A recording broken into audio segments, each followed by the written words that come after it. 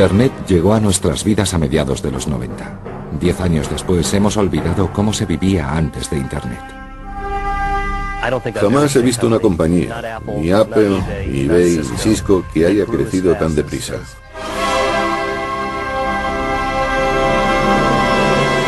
Es decir, Google ha despegado como un cohete. Hemos aprendido a navegar, a pinchar, a usar la red y el correo electrónico. Internet creció, se extendió y surgió la necesidad de encontrar información muy precisa. Entonces apareció Google.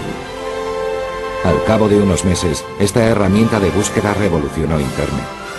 La respuesta a nuestras peticiones surgía en las pantallas con una velocidad y una precisión asombrosas.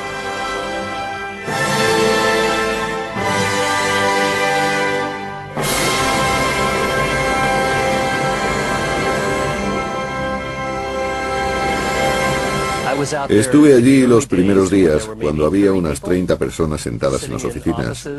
Se llevaban a sus perros y por la noche dormían en el suelo. Volví seis meses después y ya había unas 200 distribuidas por todo el edificio. Volví de nuevo unos meses más tarde y ya ocupaban varios edificios. Y ahora es un gigantesco complejo corporativo, un gigante mundial con miles de empleados.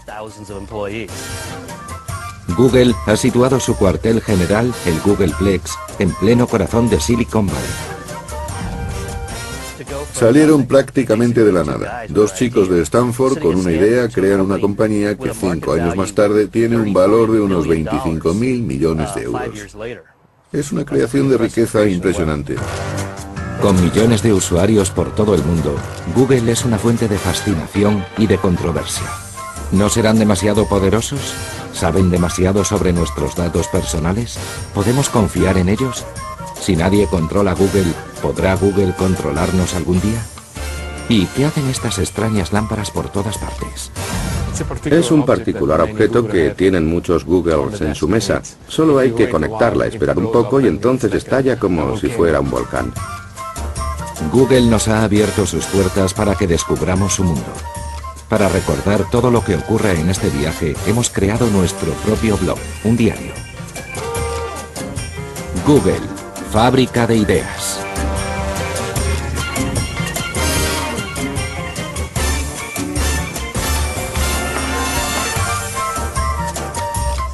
Lo primero que llama la atención en cualquier oficina de Google de cualquier parte del mundo es la juventud de los empleados. Parece que la norma es ser menor de 30 años.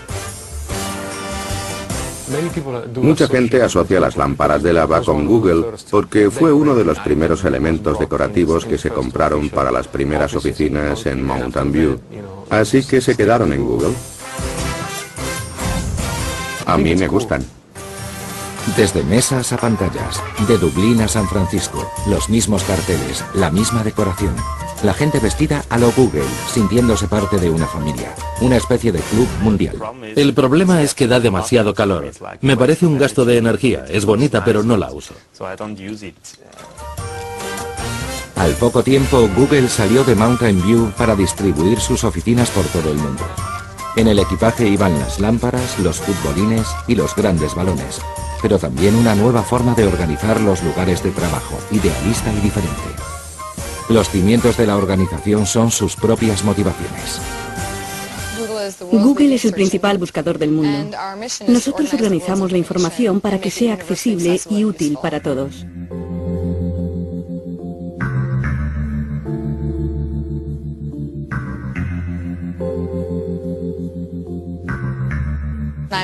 Me llamo Marisa Mayer. Soy la vicepresidenta de Productos de Búsqueda y Experiencia de Usuario.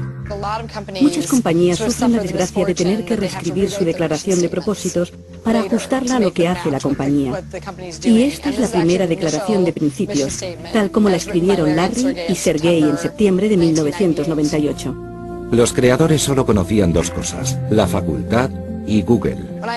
Cuando conocí a Larry y a Sergey, estaba en Stanford y sabía cómo eran los informáticos. Pero ellos usaban patines, desayunaban pizza, no se duchaban y ni te pedían perdón si se tropezaban contigo.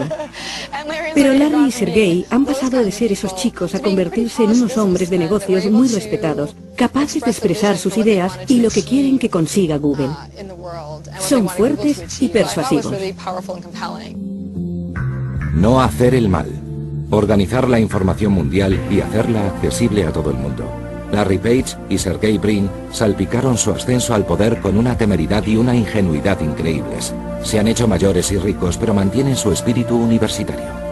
Here you can see around the world how people are using Google, and every one of those rising dots uh, represents probably about 20, 30 searches or something like that. So you can see here we are in the US, and they're all coming up red.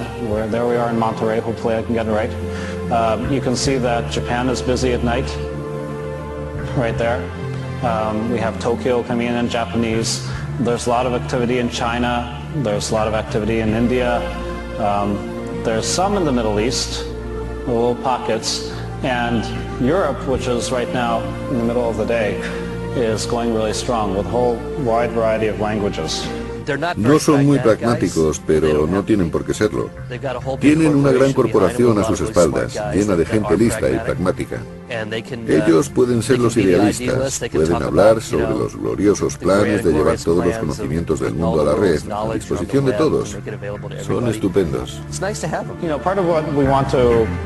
do to, to grow our company is have more searches. And what that means is we want to have uh, more people who are uh, healthy and uh, educated, uh, more animals if they start doing searches as well.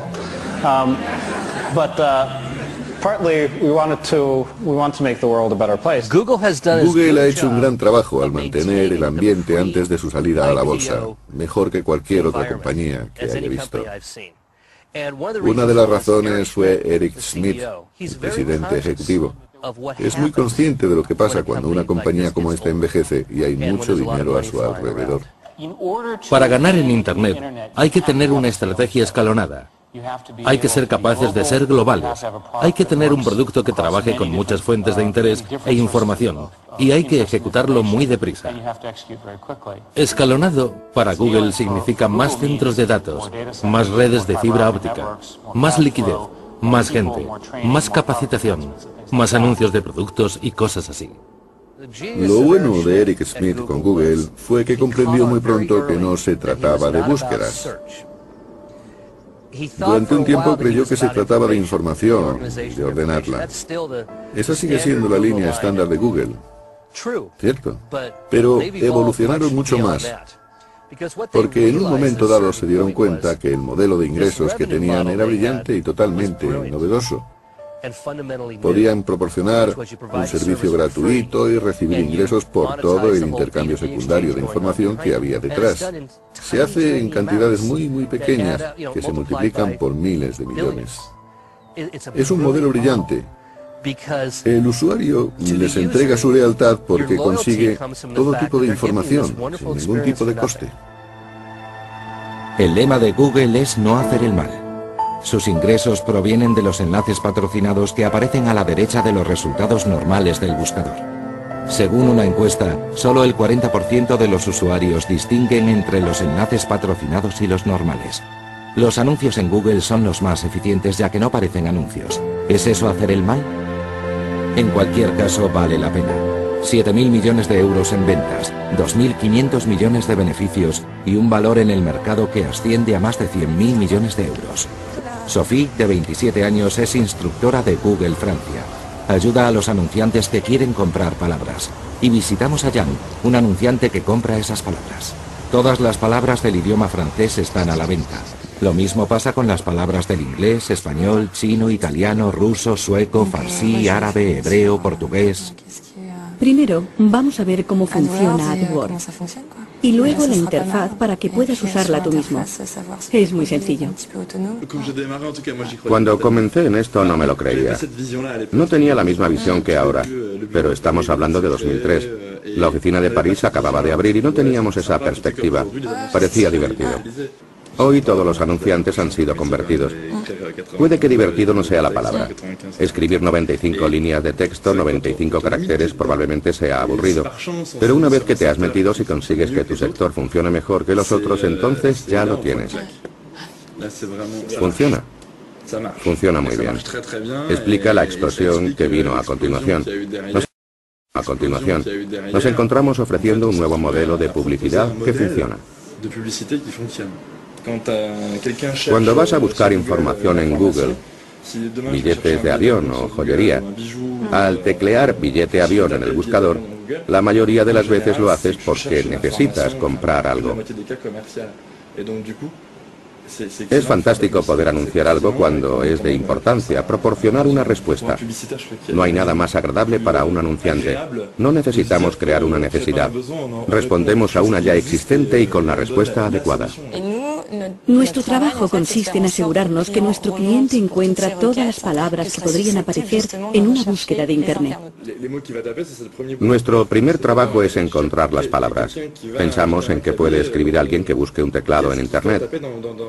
Tenemos diferentes herramientas para eso, herramientas de sugerencia. Empezamos con las básicas. Teclado ordenador. Comprar teclado ordenador. Luego pasamos a equipo ordenador, alquiler ordenador, venta ordenador.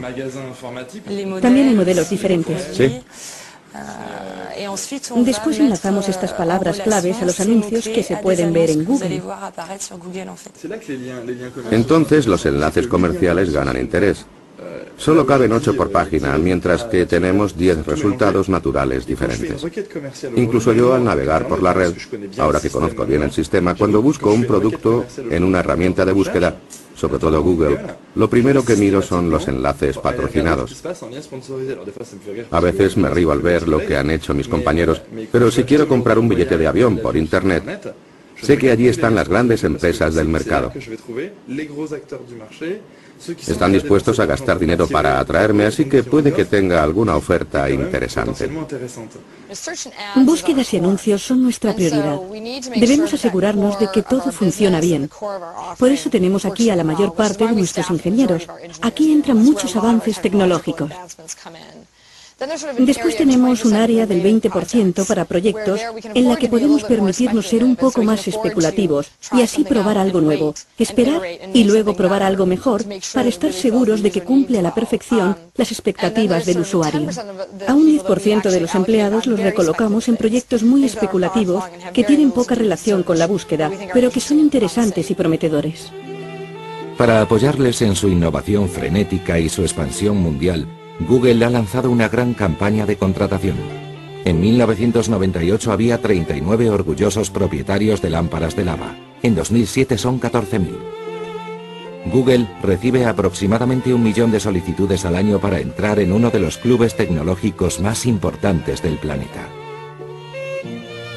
Ser un Googler, un empleado de Google, implica participar en una carrera de obstáculos unos ocho meses. Se hacen preguntas tipo, ¿Cómo venderías algo a un millón de personas? ¿O de cuántas maneras puedes pintar un icosaedro con un color? Básicamente cualquier persona preparada de cualquier facultad del mundo quiere trabajar en Google, igual que pasaba con Microsoft en 1990. Reciben solicitudes de todos los lugares del mundo. Llegan de Europa, de la India, están recibiendo de China y de Estados Unidos. Pueden escoger y elegir al que más les guste.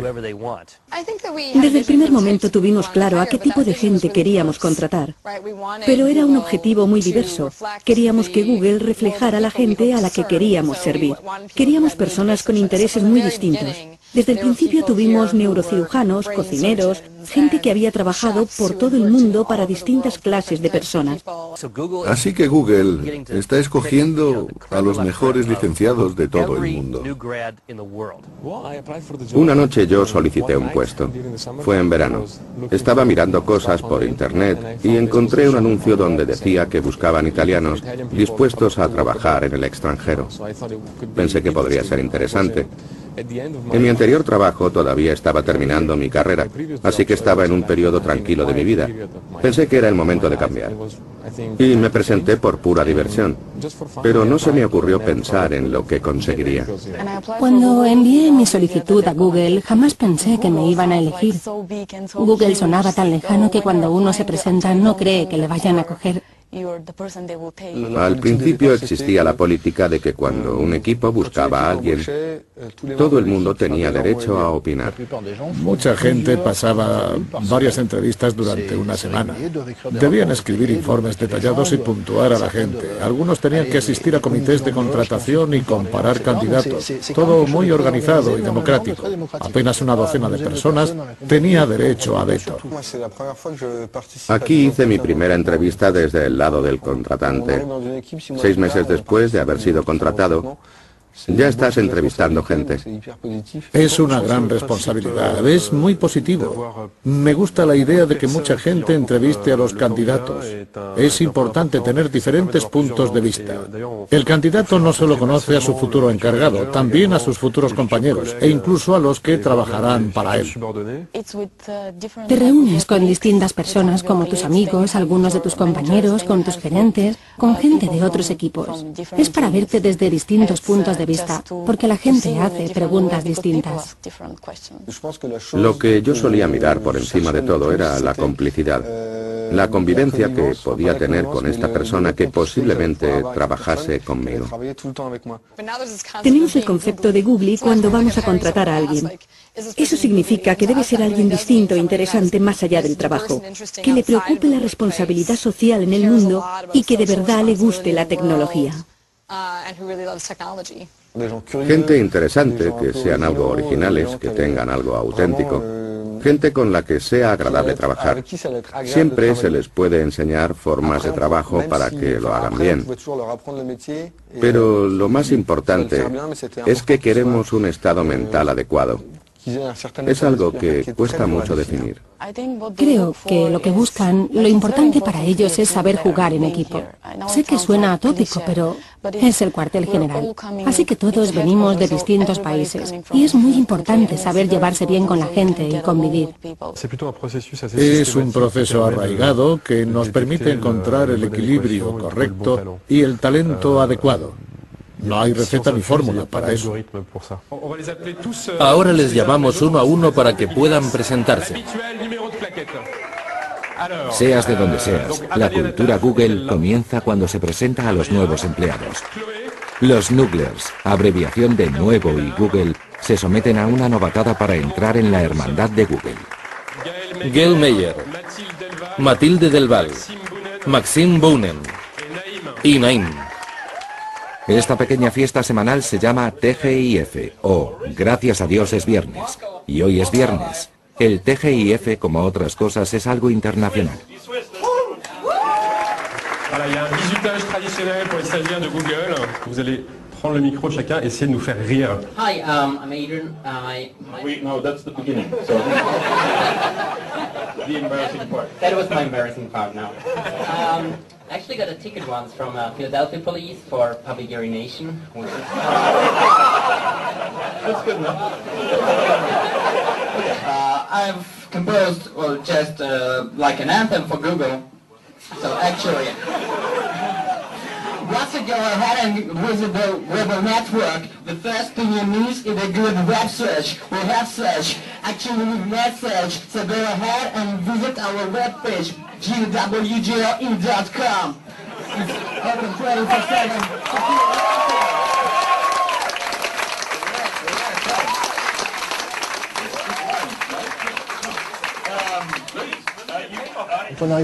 Cuando llegas aquí, echas un vistazo y piensas, puedo ser listo, pero no soy el único.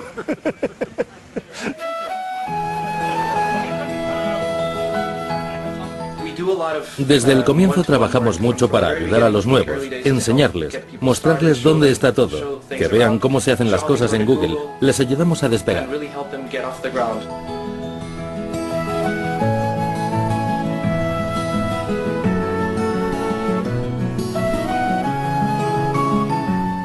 Tenemos un programa, amigo. Alguien se ocupará de ti cuando llegues e irá contigo a las reuniones con tus compañeros, porque sabemos que eres nuevo y estás nervioso. Luego vas a la formación, pasas el proceso, vas a tu mesa y sabes que hay alguien al que te puedes volver y decirle, mira, necesito que me ayudes con esto. Y siempre vendrá a ayudarte, porque es tu amigo.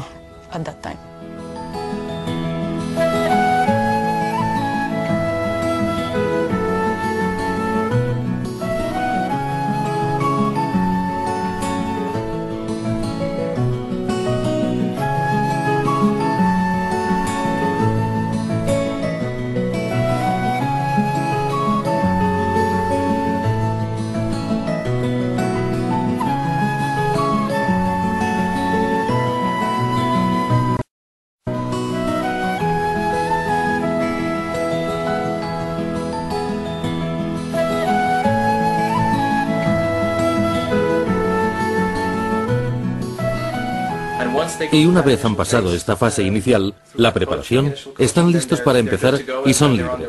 Tenemos una cultura de darle libertad a la gente y darle la propiedad sobre su negocio y su mercado, sobre todo en mercados emergentes. Nos referimos a mercados pequeños.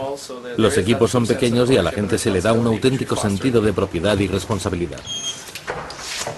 Constantina lleva un año siendo una Googler. Tenía 28 años cuando salió de Bulgaria para ir a Dublín a convertirse en la presidenta de Google Bulgaria. Es la única de aquí que puede resolver los problemas de los anunciantes búlgaros. Su mejor amigo es el presidente de Google Rumanía. Si contamos las banderas, veremos cuánto ha invertido Google en todo el mundo, porque las palabras están a la venta tanto en Bulgaria y Ucrania como en cualquier parte. Lo más estresante es llamar de parte de Google. Cuando Google está llamando al cliente, tienes la sensación de que hay que ser más profesional que nunca, lo bastante buena como para hablar con esta gente. Pero después comprendí que no podía saber siempre la respuesta, que no pasaba nada por decir que no sabía algo, que lo miraría y luego les informaría. Al principio se me hacía muy raro que nadie comprobara lo que estaba haciendo. Era algo que me provocaba mucho estrés. Pero ahora como nadie viene a vigilarme, me siento más relajada. Y si veo que necesito descansar, solo tengo que salir, sentarme y tomarme un café. Y sé que nadie cuestionará lo que hago, ni dirá que no estoy trabajando. Eso me hace más eficiente. Planifico mi tiempo a mi manera. Para Google, las mejores ideas pueden surgir en los pasillos. Así que los intermedios están organizados. Futbolines, billar, videojuegos, son modos de ampliar las relaciones entre compañeros. Las ideas ya no se intercambian a través de SMS o correos electrónicos, sino en reuniones cara a cara. Es un nuevo modo de aumentar la creatividad de los empleados. Ponemos algunas cosas que nos recuerdan nuestro trabajo. Aunque son cosas de Google, por supuesto. Siempre tenemos algo que nos hace reír. Generalmente tendría una pelotita, pero la he perdido. Así que tengo todo esto que se mueve y baja. Duna, ¿dónde está la webcam de la cafetería? ¿Dónde la encuentro? ¿En lo de ¿tienes hambre o a la derecha en la página DabDab? Ah, sí. Hay una nueva cámara en la cocina. Son las 12 y 20 y la gente suele ir entre las 12 y media y la 1 pero es muy grande, así que no están todos a la vista. Este es el menú, y este es el café tierra del otro edificio. Es lo que podemos elegir. Buffet de ensaladas, sushi, paninis, y lo que estamos abajo es la cafetería. Generalmente tenemos una comida étnica. Hoy es ucraniana. A veces es india o italiana. El sushi es muy popular. Comía sushi todos los días y ahora estoy harta.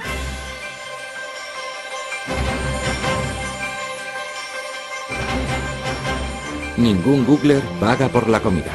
El éxito de esta receta se ha extendido por todo el mundo. Es fácil de comprender haciendo un sencillo análisis de costes y beneficios. Dar de comer a un empleado en el trabajo le cuesta a la empresa unos 2.000 euros al año, sin considerar el tiempo que se ahorra pagando en caja o comiendo fuera. La raíz del sistema se encuentra en lo que se gana en productividad. Además, la comida gratis es uno de los mejores regalos a un trabajador. Aumenta su amor a la compañía y sus horas de trabajo.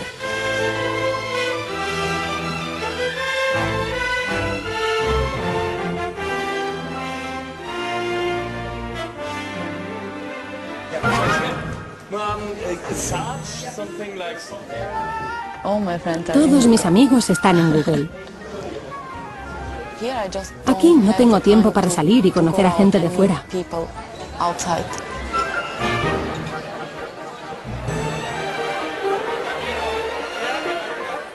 Cuando llegas aquí estás solo. Solo conoces a la gente de aquí. Así que todos los que vienen a Dublín están exactamente en tu misma situación. Llegamos, no conocemos a nadie y necesitamos hacer amigos. ¿Dónde los haríamos si? Los podemos hacer aquí. Resulta muy fácil. La gente se te acerca y haces amistad con ellos.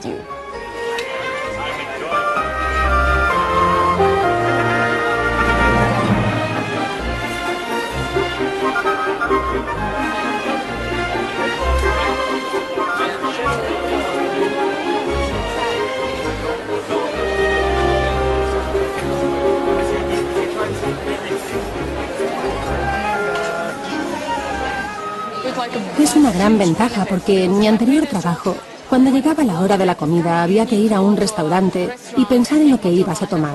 Aquí no tienes que pensar. Vas abajo, comes y hablas con los amigos.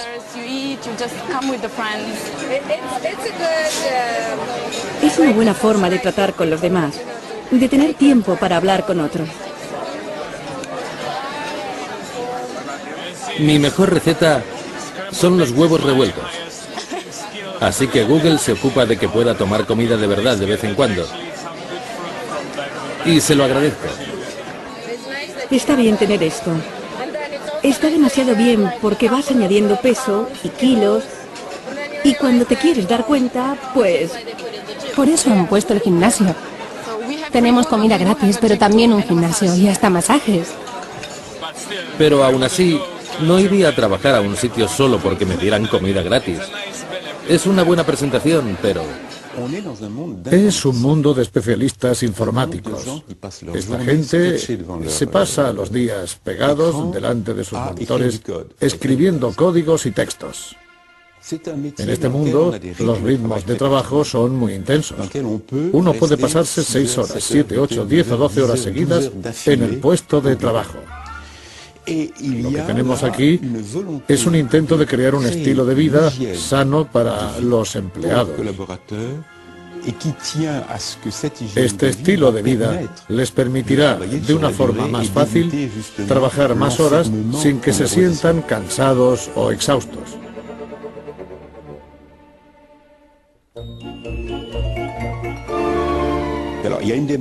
Es un enfoque muy paternalista.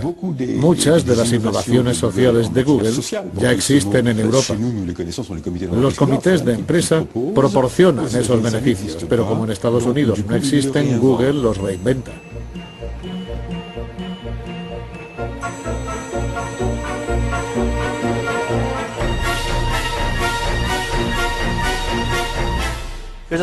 Existe un contrato social en el interior de todas estas empresas de alta tecnología, especialmente en los comienzos de las compañías emprendedoras.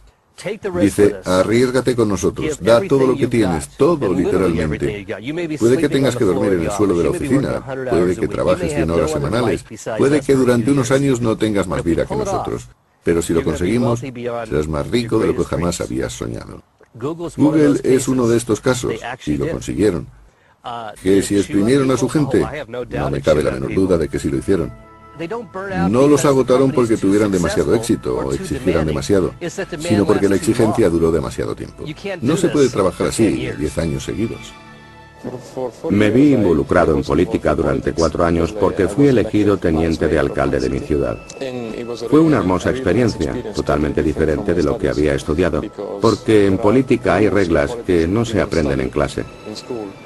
El modo de acercarse a los demás es algo que se aprende sobre la marcha, como solemos decir.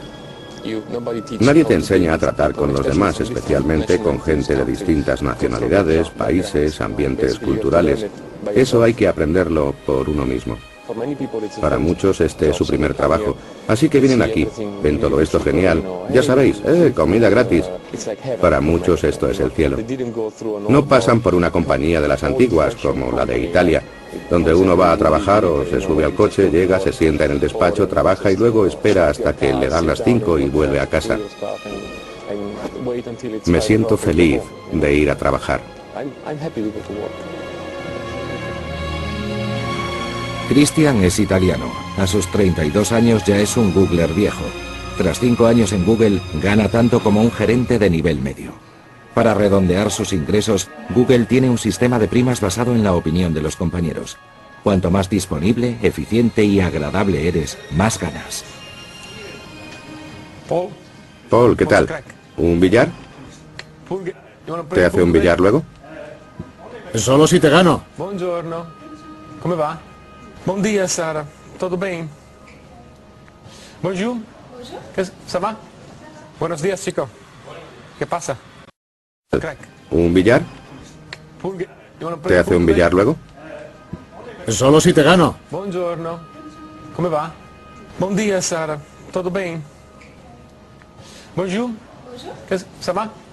Buenos días, chico. ¿Qué pasa? Lo he apañado. Lo sé. Pero inténtalo por si funciona. Graham lo ha creado y creo que funciona. ¿A que está bien? Mi trabajo son muchas cosas. Tengo dos responsabilidades. Una es mi trabajo principal, que resulta básicamente tratar con los usuarios italianos de algunos de nuestros productos. Trabajo en un pod que es básicamente un grupo de productos relacionados con la creación de contenidos. Y la segunda parte es básicamente todo lo demás, lo que significa ayudar a lanzar nuevos productos para mi mercado, ayudar a miembros de los equipos que están aquí por si tienen algún problema.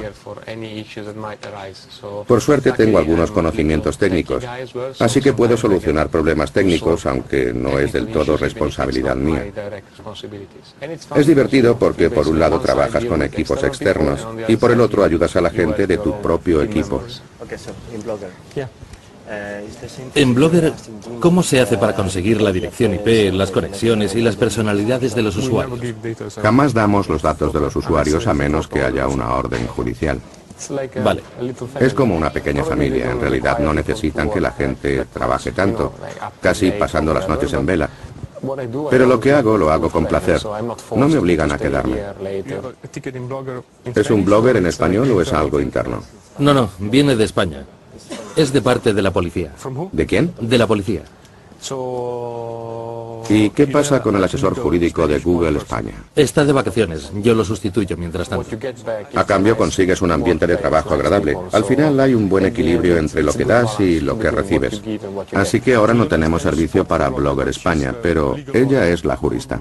El mejor control que se puede ejercer sobre una persona, sobre un empleado, es el de sus propios compañeros, porque es tanto el control como la motivación.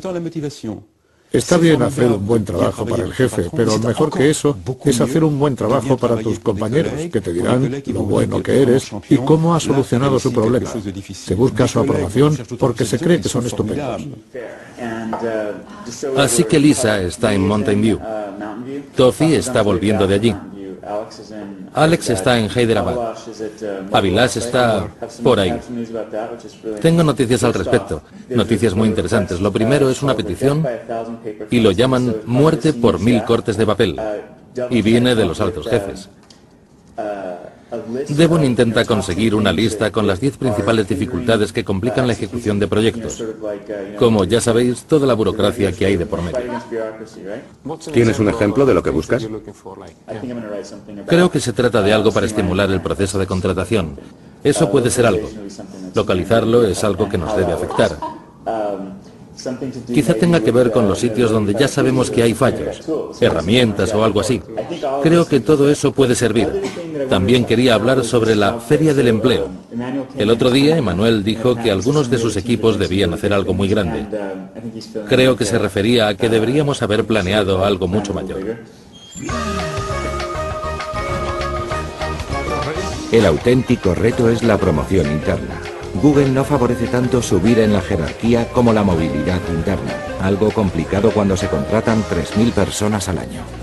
Se puede cambiar de trabajo, servicio, competencias o incluso país, o bien quedarse y ver cómo el crecimiento de Google multiplica la carga de trabajo.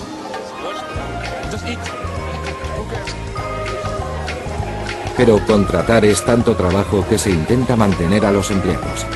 De ahí estas ferias del trabajo entre departamentos durante las que se intenta atraer a los Googlers al más puro estilo Google, usando y abusando de los famosos regalos y mucho humor.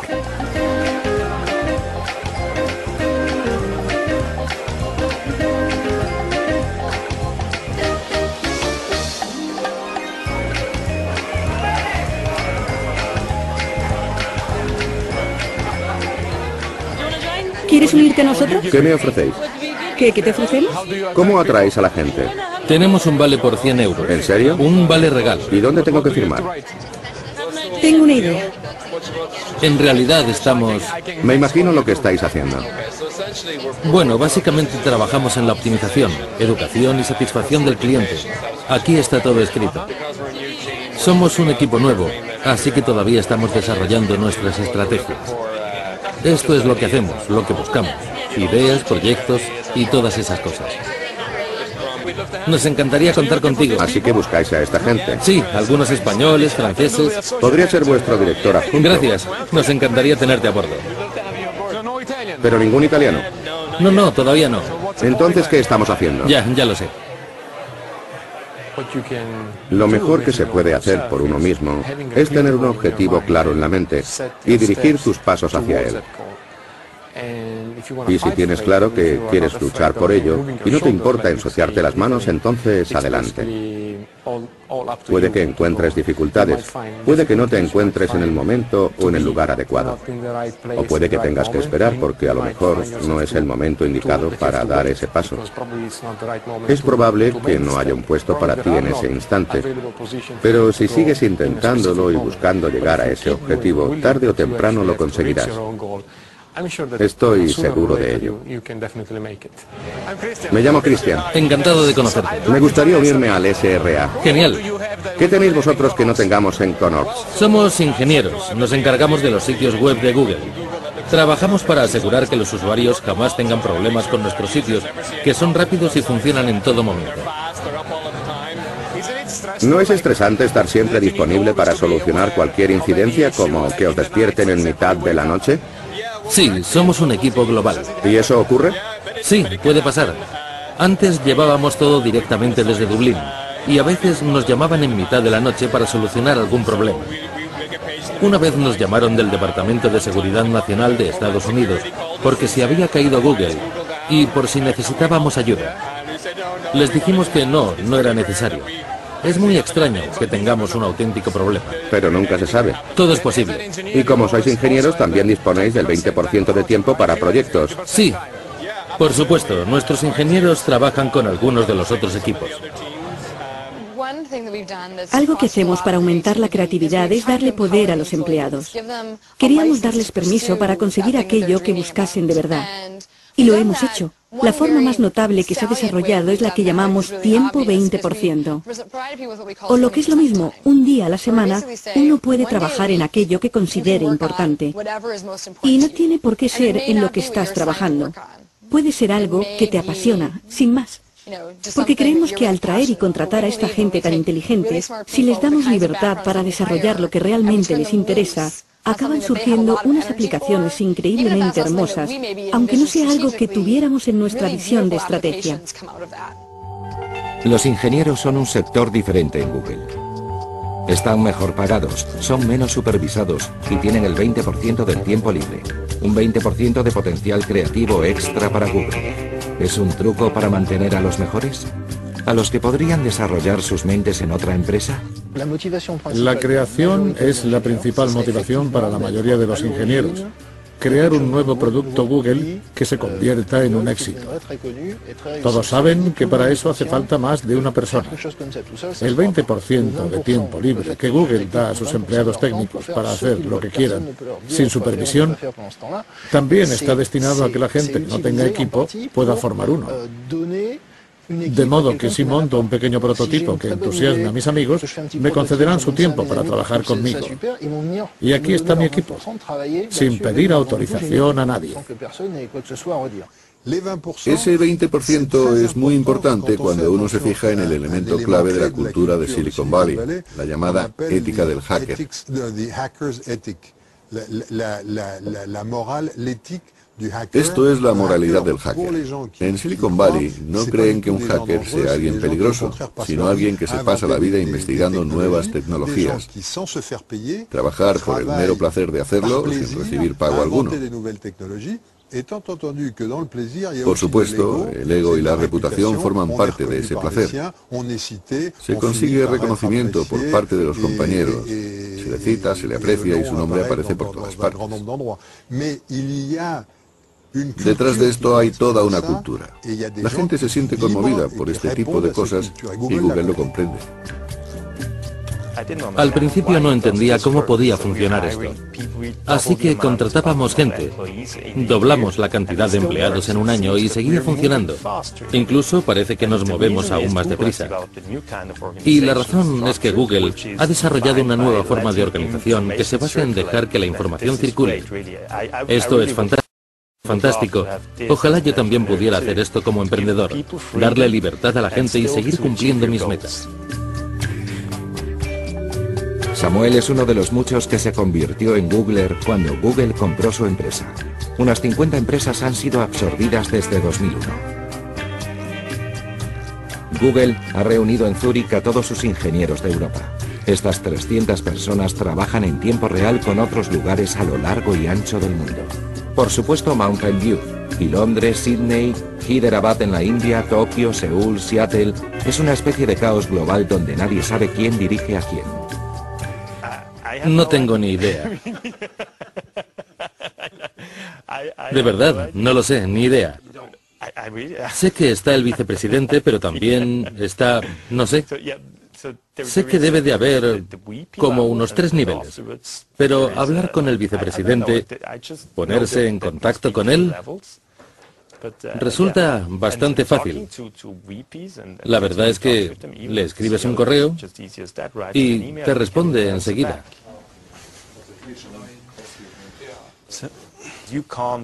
La innovación no surge de arriba a abajo, porque si Eric Smith dijera que añadamos tal función a un mapa y los ingenieros no comprenden de qué está hablando, no funcionaría y todos acabarían bloqueados. De manera que lo mejor es tener unidades pequeñas creando innovaciones. Así vamos deprisa. Podemos tomar decisiones y seguir adelante. Porque no hay que pedir permiso. No son propuestas de arriba abajo, sino más bien de abajo arriba. Aunque eso significa discutir mucho. No hay nadie que dé el visto bueno sin más. Hay que convencerles de que va a ser útil, de que será bueno para la empresa. Y así tenemos un enfoque realmente democrático. Estamos en una situación que al mismo tiempo es despreocupada y está bajo un control exhaustivo. Los empleados, al trabajar juntos, se controlan continuamente. Hay que tener en cuenta que Google es un sistema. Y este sistema gira en torno a métodos que son muy atractivos, pero firmes al mismo tiempo. Es una mezcla genial e implacable. Y Google es implacable cuando saca nuevos productos a un ritmo casi arrogante. Ya sea en el ámbito público o privado, Google ha decidido conquistar cualquier ordenador del planeta, como hizo con su buscador. Al ser una compañía enorme, tenemos una audiencia global, así que necesitamos probarlo todo antes de lanzarlo lo que lleva su tiempo. Pero como tenemos gran cantidad de gente trabajando en este producto, nuestros ciclos de lanzamiento son muy rápidos. Eso visto desde fuera. Pero desde dentro puede parecer más rápido todavía. Google lanza nuevos productos o actualizaciones con un ritmo muy acelerado, aproximadamente cada dos semanas.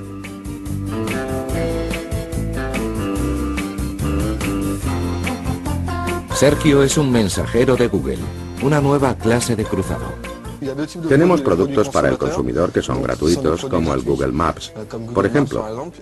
Y tenemos productos de pago. Y todo junto es una gran mercancía. Cada dos semanas reunimos a todos los equipos para contarles las novedades. En cada ocasión hay cuatro o cinco productos diferentes. Lo prepararé todo después del yogur. Lo mejor de Google es que no necesita vender nada, da productos nuevos gratis. Así que puede meterse en un mercado con algo como Google Earth y llevarse por delante a todas las empresas existentes de ese mercado que cobraban por la aplicación. Arrasan con ellos. Sergio nos lleva al universo de Google Analytics, un programa dirigido a los creadores de páginas web. ¿Venís conmigo? Claro, nunca nos perderíamos una de tus sesiones de formación.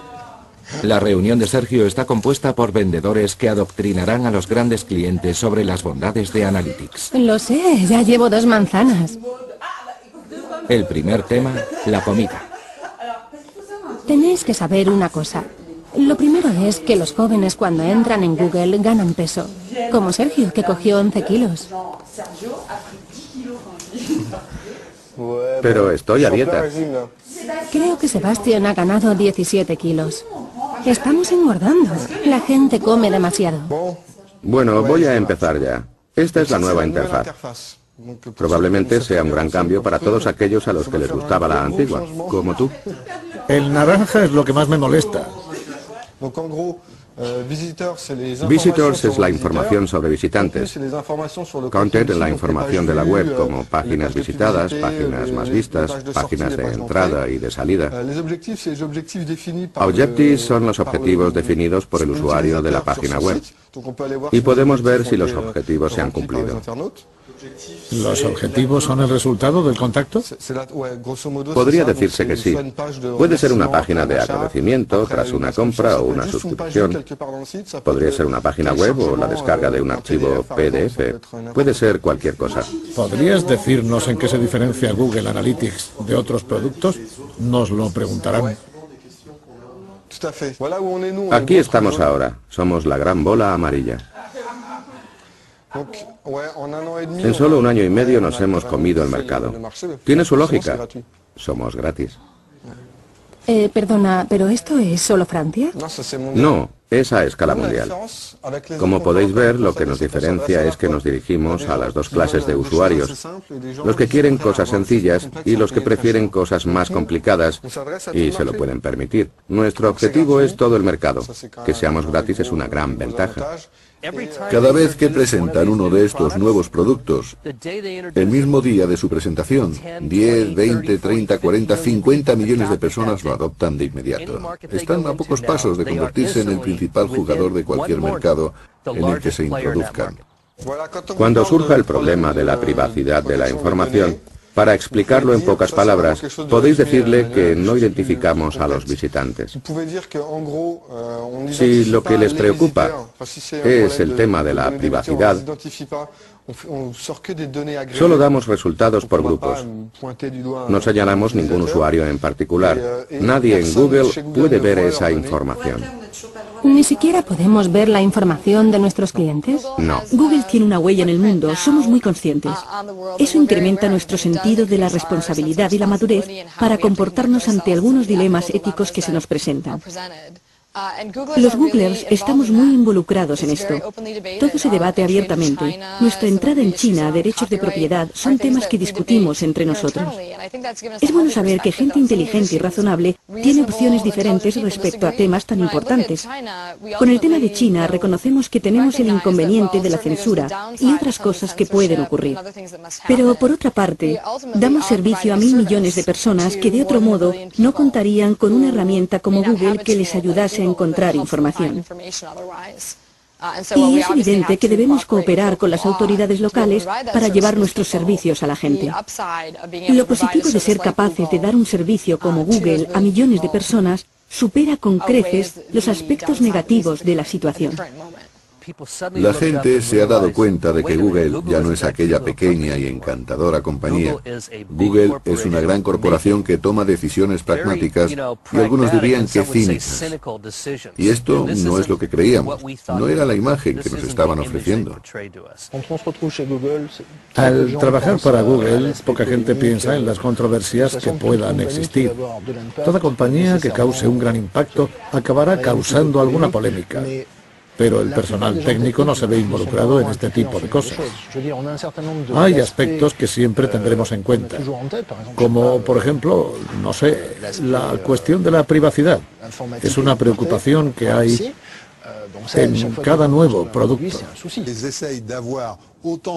Google intenta conseguir toda la información que puede de todos los rastros que dejamos en Internet. Toda esa información se almacena en un solo lugar virtual en una sola compañía. Y si la compañía permuta por cambios en la dirección, en el gobierno, las directrices cambian, podemos encontrarnos con que una enorme cantidad de datos está en manos de gente que podría hacerlos peligrosos para nosotros. Uno puede tener las mejores intenciones y llevarse estupendamente con los empleados de Google. Pueden ser encantadores, pero seguiría habiendo un problema con la cantidad de información que esta gente posee de todo el mundo. Es lógica la preocupación por la privacidad de los anuncios y de los usuarios. Si perdemos el apoyo de nuestros anunciantes o de nuestros usuarios, la compañía está perdida. Debemos afrontarlo y dar una solución satisfactoria. Eric Smith lo admite, ni Google ni ningún otro usuario de la red puede asegurar completamente la confidencialidad de los datos. Todo se basa en la confianza. Así que mejor no olvidar que todo se puede deshacer con un simple clic. Existe una interesante paradoja con Google. Por un lado dice, os damos este producto, este servicio, gratis. Tiene un bonito nombre, y está llena de gente joven vestida a la última, con bolas de plástico y mesas de billar. Todo en torno a Google habla de diversión, contracultura y todas esas cosas. Pero luego vemos las noticias. Y el Google que aparece en las noticias no es el que nos imaginábamos. Este Google es enorme, domina todos los mercados en los que entra. Poco a poco se está apoderando de los medios publicitarios de todo el mundo. Cedieron ante China sobre la censura. Parece una corporación depredadora gigante, pero al mismo tiempo en nuestro interior pensamos, ¿eh? ¿Qué es Google? Google reclama un lugar especial en el maravilloso mundo de la mañana. Posee todos los conocimientos. La innovación se ha convertido en obsesión. Son el objetivo de todos los ataques, pero los mundos virtuales son volátiles por definición. ¿Mantendrá Google su sueño cuando los Googlers, que hoy tienen 25 años, deban levantarse muy temprano para llevar a sus hijos al colegio? ¿O serán Larry y Sergey los reyes de la compañía de los niños perdidos?